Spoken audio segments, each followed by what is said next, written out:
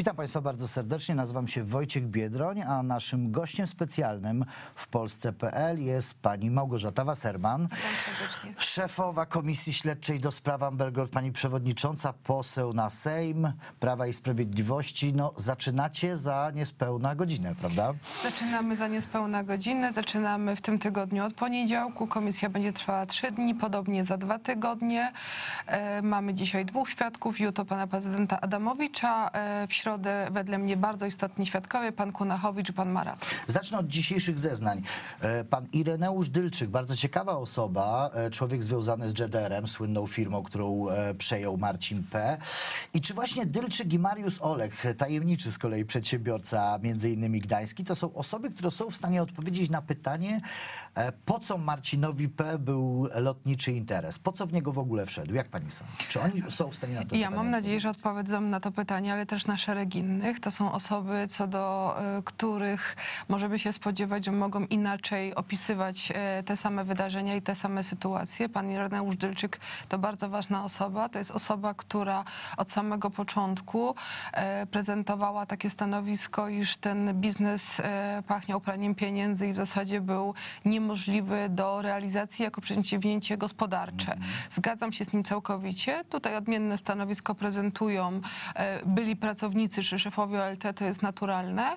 Natomiast ja e, po przesłuchaniu tylu świadków stoję na stanowisku, że tu nigdy nie miało to działanie na celu przynoszenie pieniędzy i rozwijanie działalności. Tutaj był inny ukryty cel. Jak pani sądzi, jaki ten, ten cel mógł być? Ja uważam, że to są dwie kwestie. Jedna to jest kwestia prania pieniędzy, a druga to jest kwestia przy okazji e, sprzedaży polskiego rynku e, innemu przewoźnikowi i tutaj wyraźnie ślad i zresztą mówi o tym również wprost w zeznaniach Marcin P.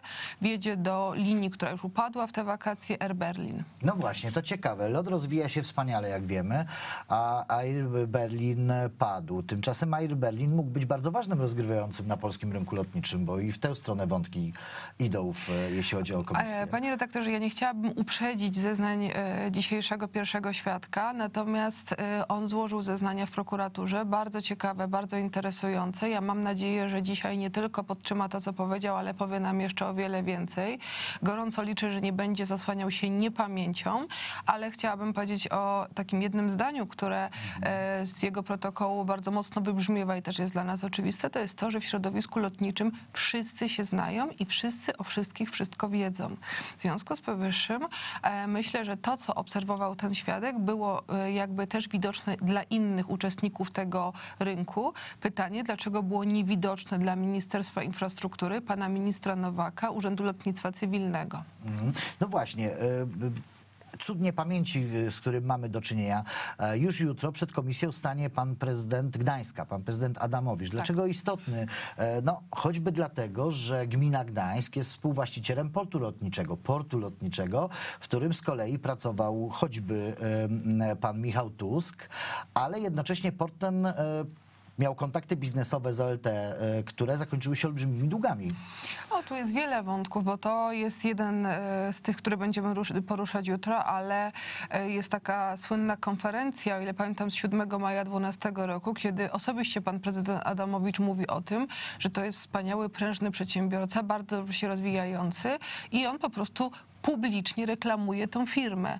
E, To również znajduje potwierdzenie nie tylko no, w innych materiałach, ale również w zeznaniach Marcina P., który mówił o tym, że to jest taki wątek korupcyjny szeroko badany obecnie przez prokuraturę, stąd my go nie poruszamy tak bardzo, bo to nie dotyczy urzędników, bym powiedziała, e, urzędów centralnych.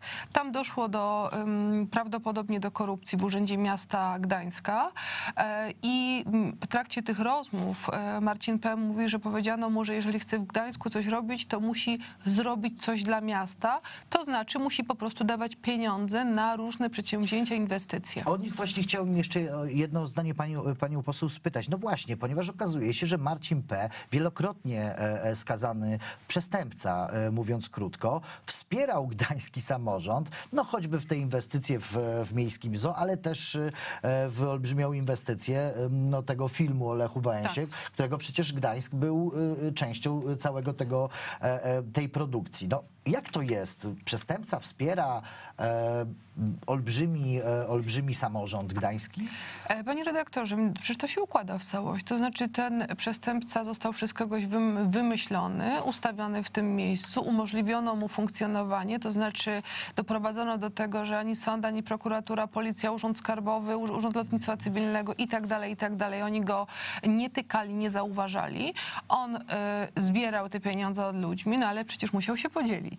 W związku z powyższym, y, no z jakichś przyczyn wpłacił tak duże pieniądze zarówno na film o Lechu a co ważne, sam Marcin P. mówi o tym, że prośbę o to, aby sfinansował ten film, wystosował osobiście prezydent Gdańska Adamowicz. To ten sam prezydent, który y, no, jako gmina e, Gdańsk, e, współwłaściciel portu lotniczego, no, w żaden sposób nie wyciągnęli konsekwencji chociażby prawnych wobec Tomasza Kloskowskiego, prezesa portu lotniczego. Tomasz Kloskowski, ja tylko chcę przypomnieć, również bardzo ważny człowiek Platformy Obywatelskiej na Pomorzu. No, y, tym bardziej, że pierwsze niezapłacone faktury, jeżeli chodzi o Gdańsk, lotnisko w Gdańsku, to jest kwiecień 2012, a przypominam, że od tego momentu ruszyły loty, co oznacza, że Marcin P. w Gdańsku nie płacił od samego początku. Zresztą wyraźnie o tym mówi, że tam od niego pieniędzy nie chciano i on tam musiał u innych płacić, a tam mógł się kredytować tym lotniskiem. Ale to się wszystko łączy. Po wybuchu afery i po tym, jak zostało 4,5 miliona długu dla lotniska w Gdańsku, Rada Nadzorcza i właściciel, a w zasadzie właściciele powiedzieli, że no nie widzą powodu wyciągania konsekwencji w stosunku do zarządu za niegospodarność, a z kolei Michał Tusk, który tam pracował i co do którego istnieją poważne wątpliwości, jakie informacje przekazywał e, Marcinowi P., również nie podlega ściganiu, bowiem tą osobą, która reprezentuje lotnisko gdańskie w zakresie strat jest właśnie pan prezes Klaskowski, który oświadczył, że nie czuje się pokrzywdzony tymi działaniami, ale co ciekawe, jak miałby się czuć, skoro Marcin P. powiedział, że było oczywiste, że wszystkie informacje, które przynosi, przynosi za wiedzą i zgodą pana prezesa Klaskowskiego. No właśnie, i nikt nie widział w tym niczego złego. E, To, to też ciekawe. Ale mm, będą jeszcze zeznania samego Marcina P. e, Tak. przed komisją. Czego się pani po nich spodziewa? O co pani nie spytała? Może tak O, spytam. ja bym powiedziała, że o wiele rzeczy, bardzo wiele rzeczy nie zapytałam. e, Mhm. Natomiast ja no, tych pytań mam bardzo dużo, ale w tym przypadku zawsze biorę to pod uwagę, że świadek może odmówić odpowiedzi na pytanie. E, Może też również powiedzieć nieprawdę, bo on ma taką specyficzną Mhm. rolę, chociaż oczywiście jest pouczony. W momencie, w którym już zdecyduje się składać zeznania, musi, powinien mówić prawdę. E, Przed nami są te ciekawe wątki służb specjalnych, No urzędów skarbowych i muszę powiedzieć, że Państwo wielokrotnie mówiliście, czy to przy prokuraturze, przy, przy Urzędzie Lotnictwa Cywilnego, że to jest nie do uwierzenia, że to jest po prostu taki stopień bezwładu i, i degrengolady. No, Urząd Skarbowy naprawdę powala, jeżeli chodzi o swoją bierność. No właśnie, to, to ciekawe. Powiedziała pani e, w wywiadzie dla portalu w polityce.pl kilka dni temu, że z kolei prokuratura była ślepa i głucha do, dokładnie do samego końca e, swoich, że tak, Tak. powiem, e, procedowań. Z czego tak, to wynikało? e, jak czytam akta i analizuję jakby idę coraz bardziej do przodu, to w żadnym momencie, w którym e, powstaje ślad lub trop e, wskazujący, kto mógł w tym jeszcze uczestniczyć, prokuratura tego nie pogłębia. Bo ja już w ogóle nie mówię o tym, że sama tego szuka, bo takich śladów w ogóle nie posiadamy. Natomiast zdarza się, że któryś świadek, e, czy coś takiego się wydarzy, gdzie no, na przykład jest świadek, któremu widziałem, jak Michał Tusk wychodził z naszej siedziby.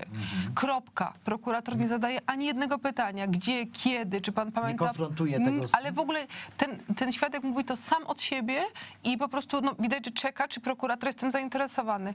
Następuje kropka i zmiana tematu. No to co, możemy już dzisiaj mówić wprost do parasolu ochronnym, ale takim Bez instytucjonalnym, Bez nie wątpienia. tylko politycznym. Bez wątpienia. Wielkim rozczarowaniem jest prokuratura. Bo pamięta pan te nieprawdziwe słowa prokuratora Seremeta o tym, jak to on rozliczy wszystko? Tak. No to ja chciałabym go dzisiaj zapytać, jakie on ma samopoczucie po tym, jak to zostało rozliczone. No więc od, począwszy od tego, że nie wyciągnięto konsekwencji nawet w stosunku do prokuratorów, co byłoby, bym powiedziała, można powiedzieć banalnie, Banalnie proste, no bo proste. jeżeli ktoś nie robi niczego w postępowaniu, jedyne co robi, to torpeduje to postępowanie, bo jak nazwać inaczej to, że pani prokurator przed przesłuchaniem Marcina P. wydaje mu akta, żeby wiedział, o co będzie pytany. Jak inaczej nazwać e, e, fakt związany z tym, że biegły, który ma coś w tej sprawie robić, jest przesłuchany w charakterze świadka, a każdy prawnik, który ma podstawową wiedzę, wie, że to go dyskwalifikuje, czyli wszystko, co on zrobi, będzie do kosza na śmieci, no to jak to inaczej nazywać? Nie mówiąc o dalszych No postępowaniach. właśnie, bo to, to samo pytanie, już ostatnie pytanie również dotyczy służb, o których pani wspomniała. Tak. No oprócz notatki, o której wszyscy wiemy, wiemy, którą też y, upublicznił tygodnik sieci, to jeszcze jest taka kwestia, pamiętam w takich zeznaniach Marcina P. on powiedział, że przychodzono do niego i mówiono mu, kiedy po niego przyjdą. Tak. To, Przychodzono, mówiono mu, kiedy po niego przyjdą. On przecież wiedział, że tam wybrzmiewa to, nie jesteśmy sami, włączmy te drugie telefony, pozdrówmy panów z ABW. Więc zresztą on wyraźnie bardzo o tym mówił. Mówił o tym, że miał wiedzę, która pozwalała mu być cały czas krok przed służbami.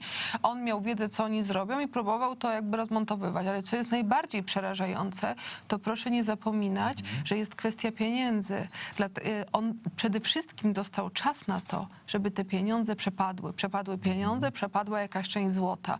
I to obciąża w sposób bezpośredni służby specjalne i prokuraturę. no, pytanie, e, komu na tym zależało? Ostatnie, absolutnie już króciutko, bo kończy nam się czas. Pani poseł spieszy się do Sejmu, co zrozumiałe. Jak pani sądzi, czy pan poseł Brejza również będzie krzyczał, że chcecie coś ukryć i dlatego nie mówicie e, o danych wątkach i tak dalej, albo nie wiem, będzie w inne wątki wprowadzał wnioski? Pan poseł Brejza jest w bardzo trudnej sytuacji, dlatego że e, za całość państwa w ówczesnym okresie odpowiadał Donald Tusk i Platforma Obywatelska. A jak pan redaktor widzi, i dzięki państwu to również opinia publiczna, e, którego wątku nie dotkniemy, to w najgorszym wypadku jest po prostu beznadzieja, a tak naprawdę to są po prostu niedopełnienia obowiązków w moim, w moim przekonaniu w części oczywiście świadome. Drodzy Państwo, e, smutna konkluzja, ale dobrze, że komisja tymi wszystkimi wątkami się zajmuje, będzie zajmowała, zwłaszcza w tym tygodniu. Polecamy, śledzimy to, co się dzieje w komisji. Naszym Państwa gościem był, była e, pani poseł Małgorzata Wasserman, przewodnicząca Komisji Śledczej do spraw Amber Gold. Dziękuję bardzo. Dziękujemy, ale y, nie żegnamy się. Tuż po krótkiej przerwie e, pan Jacek Pawłowicz, dyrektor Muzeum Żołnierzy Wyklętych i Więźniów Politycznych P- e, PRL, już po krótkiej przerwie. Dziękuję bardzo.